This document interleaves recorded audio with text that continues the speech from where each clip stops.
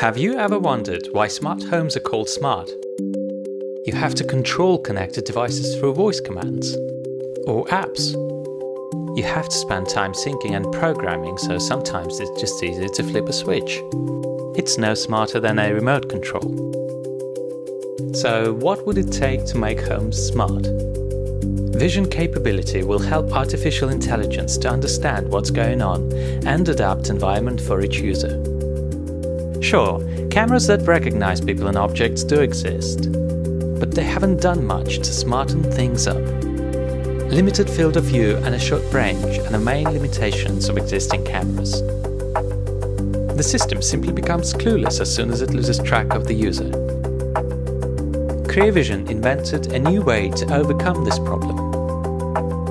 After two years of development, we're introducing a breakthrough computer vision sensor combines visual information from unique camera array and sensor data to enable long-range user recognition and real-time localization. Such capability enables unprecedented level of automation, indoor location-based services and takes user experience to the next level.